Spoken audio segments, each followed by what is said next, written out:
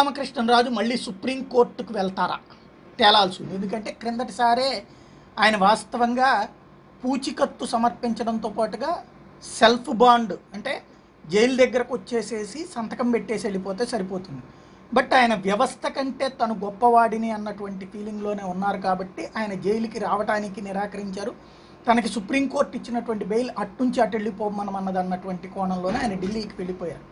అయితే వెళ్ళినటువంటి పర్సన్ది remand continue చేసింది అందుకనే కోర్టు. ఈవెన్ సుప్రీంకోర్టు తన తీర్పులో కూడా లోయర్ కోర్టు దగ్గర ప్రొసీడింగ్స్ పాటి పాటించి బెయిల్ తీసుకోమని.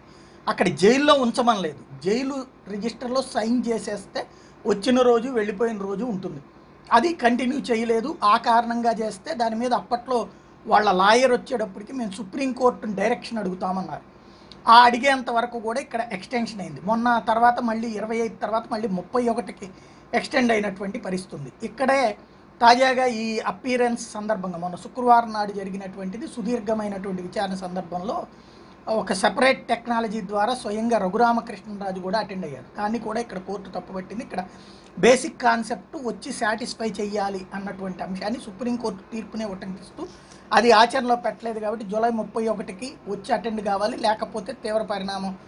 లేకపోతే కనుక చట్ట ప్రకారం అకార్డింగ్ టు లా వ్యవహరిస్తామని తేల్చి చెప్పింది. ఆయన కోరుకున్నటువంటి విధంగా అక్కడి నుంచి అప్పీర్ అయ్యారు కాబట్టి ఆయన పంపించేటువంటి కాగితాలతో చూసుకోవడానికి అంగీకరించలేదు.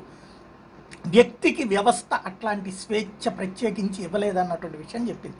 ఇప్పుడు ఈ నేపథ్యంలో సుప్రీంకోర్టుకు వెళ్ళడానికి రెడీ అవుతారా? సుప్రీంకోర్టుకు వెళ్తే వాస్తవంగా హైకోర్టు సుప్రీంకోర్టు అనేటువంటిది కాన్స్టిట్యూషనల్ బెంచెస్. ప్రాక్టికల్గా ఈ కింద స్థాయి కోర్టులు అనేటువంటిది ఎక్యూజ్డ్ హిస్టరీ బేస్డ్కి సంబంధించినటువంటి అంశం.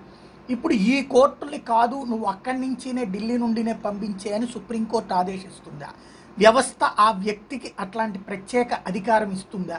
లేదు ఇక్కడికి వస్తే కనుక అరెస్ట్ చేస్తారు లేదా వేరే కేసులో పెడతారన్నటువంటి భయం ఉంది అంటే అప్పుడు ఏమన్నా డైరెక్షన్ ఇచ్చి చేస్తుందా? అది ముందుగా బెయిల్ ప్రొసీడింగ్స్కి ముందుగా చేయాల్సి ఉందా చేయకూడదా? వాటికి ఈ విధమైనటువంటి ఎగ్జామ్షన్ ఇస్తుందా? అంటే ఇంకా వేరే కేసుల్లో దేంట్లో అరెస్ట్ చేయొద్దు ఈ సందర్భంగా అని ఆదేశించమని కోరటానికి దీన్ని వినియోగించుకుంటారా? ఏం జరగబోతోంది అనేటువంటిది చూడాల్సి ఉంది.